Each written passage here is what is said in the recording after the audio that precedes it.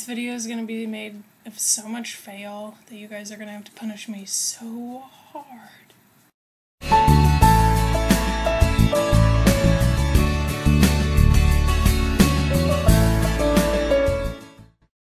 You guys know that I just finished a final, so I've spent the past week studying my ass off, putting in as much information that I can in my head, and I just regurgitated all of it for about three hours, and now I am done.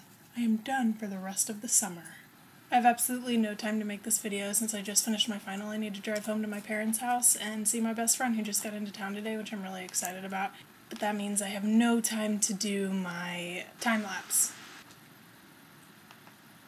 fail. I fully expect to be punished for this. Come up with your best. Do whatever. I'll take it like a champ. I promise I'll have more time next week for a really good video. And I won't fail so hard. My game for us to play is kind of a cheat. Sorry about that. It's kind of so I all of us can do it without video and it'll be in the comments. And it's kind of so I don't have to do it right now, I can do it afterwards in the comment section below. I want us to all write a story and you can only do one sentence at a time and one comment.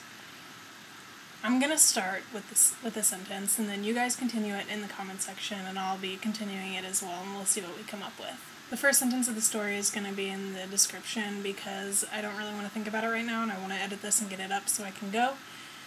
Chris, my challenge for you is that I want to see your best dance move. But I'll be back online later to see what you guys have come up with in the comments and then to keep the story going. I'm going to try to do a time-lapse video just so I don't completely fail, but I'll put that up on my main channel. So if you guys are really interested in that, just look out for that in the next couple days.